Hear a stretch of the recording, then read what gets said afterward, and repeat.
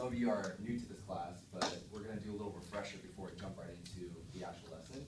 Um, but today we'll be focusing on shutter speed and ISO.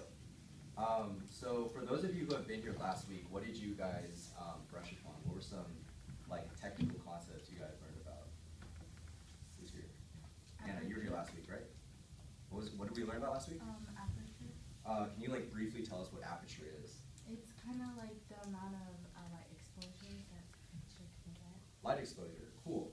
So aperture, um, there's, there's kind of like a comparison that they used, uh, within our lesson last week. What did they use? Um, who else was here last week? Who was here last week again? Pauline. They said it was like similar to like an eye, right?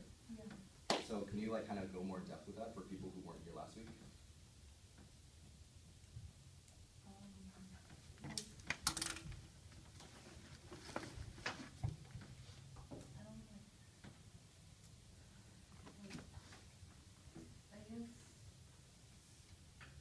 I don't know. I all I know that there's like a scale of numbers Mhm. and like. I think it was less is more. Mhm. Like the lower the number, the more light. Mhm. Or maybe the other way around. Okay, Like- so is this what you're referring to, like the aperture scale? Cool. So yeah, so what we learned about last week was aperture, and the official definition is how much light the camera lets in. Um, so, I mean, looking at this kind of, this, this diagram that they showed us, you mentioned like there's a scale, um, there's like this lens that essentially closes and opens up, right? So this is kind of help, uh, bring this up? So can you explain again, like what, what aperture is?